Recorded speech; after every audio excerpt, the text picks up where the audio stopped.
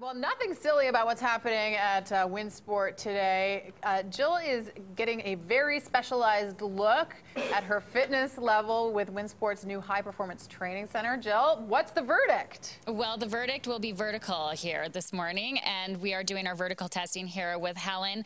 I am feeling a little competitive and a little inferior, but that's okay because you have to start somewhere, right? And this is an example of some of the testing that you offer here at the Performance Training Center here at Winsport for a recreational athlete that may have a goal in mind, and that's what you guys are here for. So we did the VO2 max, uh, we did the lactate test as well. So what are we doing now, Miranda? So now we've moved more to the power and strength test, and so um, we have a, a giant list of tests that we might do with national team athletes, and depending on that goal and the the details of, of where you want to head, uh, we would uh, customize and tailor the testing experience to what you need. So we're giving you a nice sample of tests today, and one of those samples being uh, the jump test. So okay. Helen's going to give this a go. Yeah, Helen's familiar with this test. Yeah, so we're going to start with a non-counter movement.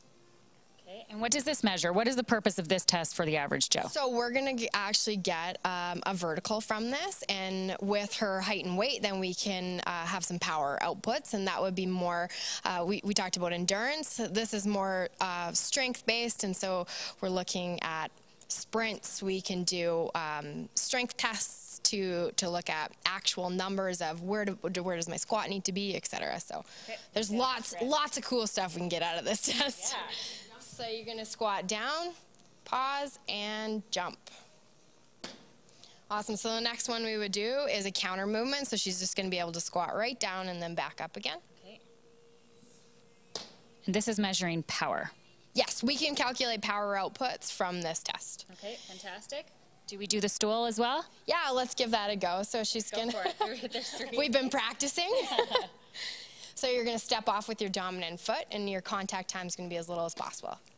Awesome. She does that like a pro.